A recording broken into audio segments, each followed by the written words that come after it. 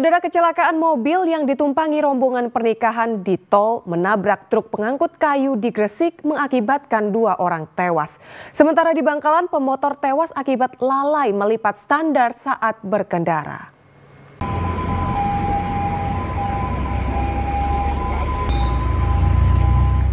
Kecelakaan maut melibatkan minibus dengan truk pengangkut kayu gelondongan di tol Gresik, Surabaya, tepatnya di kilometer 14.800 di Desa Kembangan, Kabupaten Gresik.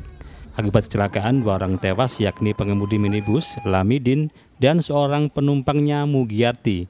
Sementara delapan orang terluka dirawat di rumah sakit. Kecelakaan terjadi saat minibus yang membawa 15 orang rombongan alumni SMP Negeri Bojonegoro akan menghadiri hajatan pernikahan di Surabaya.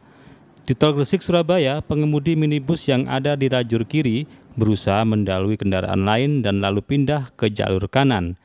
Diduga sopir kurang waspada, tidak mengetahui ada truk pengangkut kayu dari belakang, sehingga tabrakan tak terhindarkan. Sempat dengar suara nggak tadi sebelum kejadian itu? Sempat dengar suara atau sebelum kejadian? Uh, ini langsung buling-buling. Nggak tahu kronologisnya nggak tahu ya.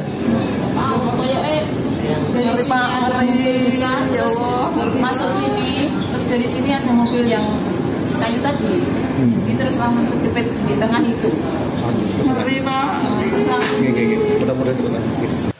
Sementara di Bangkalan diduga Lale melipat standar motornya, Ragil tewas saat melintas di tikungan Jalan Raya Langkap Burneh Bangkalan.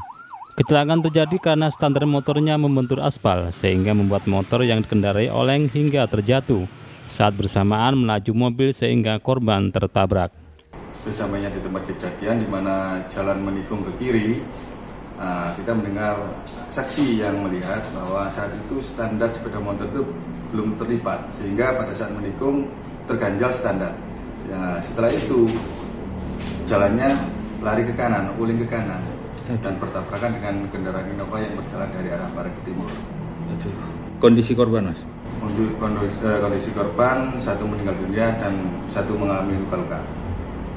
Akibat kecelakaan, pengemudi motor tewas di lokasi sementara temannya yang dibonceng terluka dan dilarikan ke rumah sakit.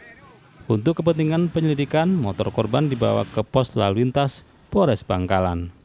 Muhammad Kodim dan Salin Awali melaporkan dari Gresik dan Bangkalan.